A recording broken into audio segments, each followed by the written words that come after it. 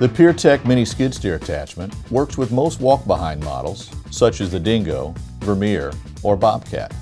This attachment includes a gimbal-style mount for low headroom areas, an 8,000 foot-pound drive head, two gauges, and two short hoses with quick disconnects. Our innovative mini skid steer attachment will allow a 5-foot helical pile to be installed with just one man in less than two minutes. On your next limited access project, choose the Piertech Systems mini skid steer attachment.